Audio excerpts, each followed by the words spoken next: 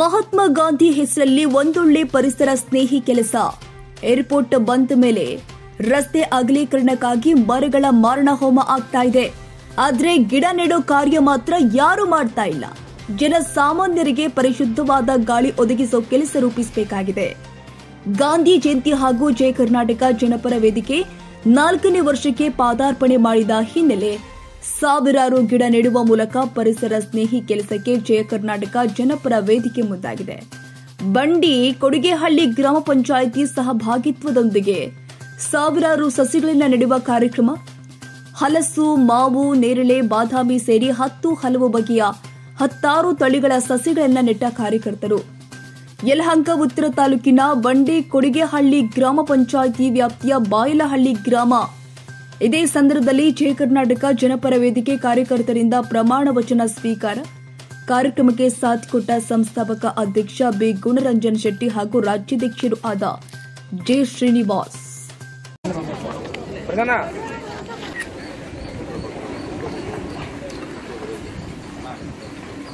ಗುಣರಂಜನ್ ಶೆಟ್ಟಿ ಬರಂಗಿಲ್ಲ ಅದಕ್ಕೆ ಸ್ಟಾರ್ಟ್ ಮಾಡೋರು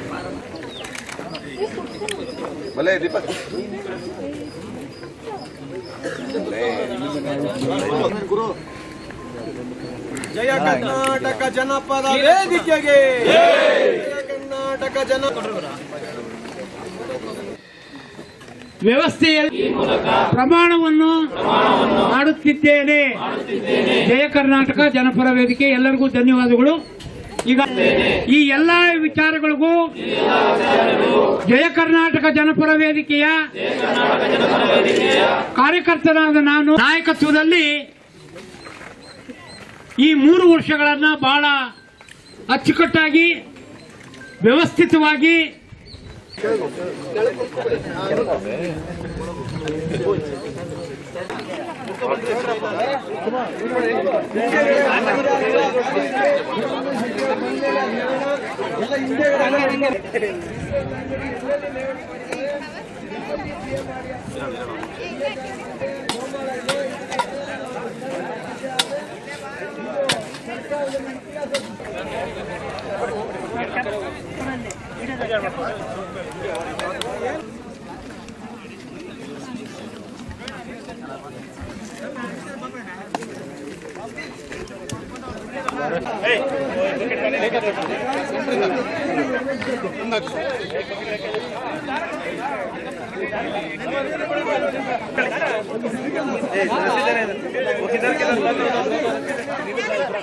सबको दो दो रस्सी देख के आ जाओ ಸರ್ ಜಯ ಕರ್ನಾಟಕ ಜನಪರ ವೇದಿಕೆ ಯುವ ಸಂಸ್ಥಾಪಕ ಅಧ್ಯಕ್ಷರು ಐಕೇರ್ ಬ್ರಿಗೇಡ್ ಹಾಗೂ ಐಕೇರ್ ಫೌಂಡೇಶನ್ ಸಂಸ್ಥಾಪಕರಾದ ಬಿ ಗುಣರಂಜನ್ ಶೆಟ್ಟಿರವರ ಸಾರಥ್ಯದ ಸಂಘಟನೆ ಇವತ್ತು ನಾಲ್ಕನೇ ವರ್ಷದ ವಾರ್ಷಿಕೋತ್ಸವ ಮಾಡೋದ್ರ ಮುಖೇನ. ಗಿಡ ನೆಡಬೇಕು ಏನಿವತ್ತು ಪರಿಸರನ ಉಳಿಸ್ಬೇಕು, ಸಮಾಜದಲ್ಲಿ ನಿಮಗೆ ಗೊತ್ತಿದ್ದಂಗೆ ಇವತ್ತು ಬೆಂಗಳೂರು ಬೃಹತ್ತಾಕಾರವಾಗಿ ಬೆಳೀತಾ ಇದೆ. ರಕ್ತೆ ರಸ್ತೆಗಳು ಅಗಲೀಕರಣ ಮಾಡ್ತಿದ್ದಾರೆ. ಎಲ್ಲ ರಸ್ತೆಗಳಲ್ಲಿ, ಹಳೆ ರಸ್ತೆಯಲ್ಲಿ ಇರ್ತಕ್ಕಂಥದ್ದ ಸುಮಾರು ದೊಡ್ಡ ದೊಡ್ಡ ಮರಗಳನ್ನು ಕಡಿದು ರಸ್ತೆಗಳನ್ನು ಮಾಡ್ತಿದ್ದಾರೆ. ಅದೇ ರೀತಿ ಇದೇ ಭಾಗದಲ್ಲಿ ಏನಿವತ್ತು ನಾವು ಬಂಡಿಕೊಡಗಳ್ಳಿ ಗ್ರಾಮ ಪಂಚಾಯತಿ ವ್ಯಾಪ್ತಿಯ ಜಾಗದಲ್ಲಿ ಇವತ್ತು ಗಿಡ ನೆಡ್ತಾ ಇದ್ದೀವಿ. ಬಂಡಿಕೊಡಗಳ್ಳಿಗೆ ಸಮೀಪ ಇರತಕ್ಕಂಥ ಬರೀ ಎರಡು ಕಿಲೋಮೀಟರ್ ಇರ್ತಕ್ಕಂಥ ಏರ್ಪೋರ್ಟ್. ಆ ಏರ್ಪೋರ್ಟ್ ಈ ಕಡೆ ಬಂದಿರೋದ್ರಿಂದ ಎಲ್ಲ ರಸ್ತೆಗಳು ಕೂಡ ಅಗಲೀಕರಣ ಮಾಡಿ ಯಾವುದೇ ಒಂದು ರಸ್ತೆಯಲ್ಲಿ ನೀವು ಹೋಗಿ ನೋಡಿದ್ರು ಕೂಡ ಗೊತ್ತಾಗುತ್ತೆ ಒಂದು ಗಿಡನೂ ನೆಟ್ಟು ಯಾರೋ ಒಂದು ಮರ ಬೆಳೆಸೋಂಥ ಕೆಲಸ ಇಲ್ಲಿ ಮಾಡ್ತಾ ಇಲ್ಲ. ಆ ದೃಷ್ಟಿಯಿಂದ ನಮ್ಮ ಜಯ ಕರ್ನಾಟಕ ಜನಪರ ವೇದಿಕೆ ಈ ಹಿಂದೆಯಿಂದನೂ ಕೂಡ ಸುಮಾರು ಆನೇಕಲ್ ಭಾಗದಲ್ಲಿ ಮಾಡಿದ್ದೀವಿ ಮೂರು ಕಡೆ.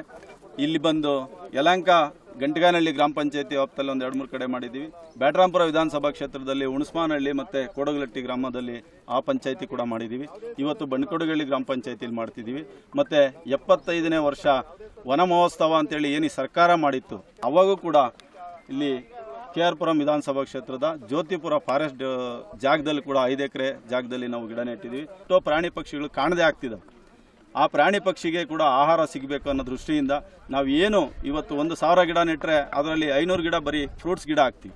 ಪ್ರಾಣಿ ಪಕ್ಷಿಗೂ ಕೂಡ ಫ್ರೂಟ್ಸ್ ಆಗಬೇಕು. ಮತ್ತು ನಾವು ಪಾರ್ಕ್ ಜಾಗಗಳಲ್ಲಿ ಏನಾದರೂ ಮಾಡಿದಾಗ ಪಾರ್ಕ್ಗೆ ಯಾರೋ ಮಕ್ಕಳು ಮರಿ ಆಟ ಆಡೋಕ್ಕೆ ಬಂದಂಥವ್ರಿಗಿರ್ಬೋದು, ವಯಸ್ಸಾದವರು ರೌಂಡ್ ಹಾಕಕ್ಕೆ ಬಂದಾಗ ಒಂದು ಏನೋ ಒಂದು ಮಾವಿನ ಹಣ್ಣು ಇರ್ಬೋದು, ಒಂದು ಹಲಸಿನ ಹಣ್ಣು ಇರ್ಬೋದು, ನೇರಳೆ ಹಣ್ಣು ಇರ್ಬೋದು, ಈ ಥರ ಫ್ರೂಟ್ಸ್ ನಾವು ಹಾಕಿದ್ದಾಗ ಅವ್ರಿಗೂ ಕೂಡ ತಿನ್ಲಿಕ್ಕೆ ಒಂದು ಆಹಾರ ಆಗುತ್ತೆ.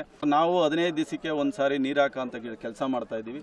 ಮತ್ತೆ ಗ್ರಾಮ ಪಂಚಾಯತಿಯವ್ರ ಸಹಯೋಗದಿಂದ ಮಾಡ್ತಾ ಇರೋದ್ರಿಂದ ಗ್ರಾಮ ಪಂಚಾಯತಿಯವರು ಕೂಡ ಇದ್ರ ಕಡೆ ಕಾಳಜಿ ವಹಿಸಿ, ಯಾಕೆಂದರೆ ಅವ್ರ ಗ್ರಾಮ ಪಂಚಾಯತಿ, ಅವರು ವ್ಯಾಪ್ತಿನಲ್ಲಿ ಇರತಕ್ಕಂಥದ್ದು. ಅವರೂ ಇದನ್ನು ಪೋಷಣೆ ಮಾಡ್ತಾರೆ ಅನ್ನೋ ದೃಷ್ಟಿಯಿಂದ ನಾವು ಇದನ್ನು ಮಾಡ್ತಾ ಇದ್ದೀವಿ. ಕ್ಷಣ ಕ್ಷಣದ ಸುದ್ದಿಗಾಗಿ news eighty one Kannada YouTube channel subscribe ಮಾಡಿ. ಹೊಸ ಸುದ್ದಿಗಳ ನೋಟಿಫಿಕೇಶನ್ಗಾಗಿ ಬೆಲ್ ಐಕಾನ್ ಕ್ಲಿಕ್ ಮಾಡಿ.